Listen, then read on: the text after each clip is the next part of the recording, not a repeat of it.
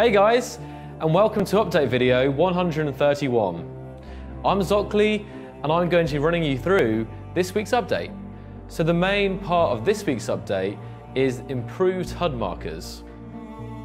These new HUD markers mean less text spam and also the markers fade their titles out when not looking directly at them and their distance label has been reduced in size.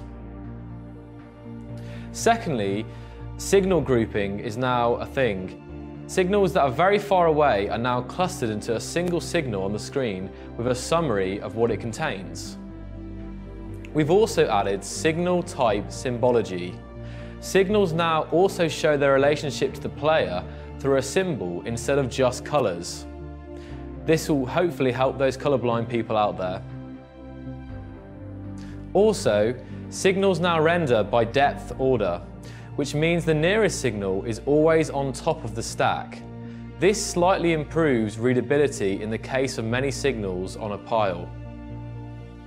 These improvements should mean less clutter on your screen and it will be especially noticeable on dedicated servers with many beacons and antennas. Please note that this is the first iteration of the improved HUD markers and we would love to hear your feedback on how we can improve them even more, so please do leave those below. Also this week, we made optimizations to voxel modification. So this could be mining of a load of drills or warheads and missiles exploding on voxels.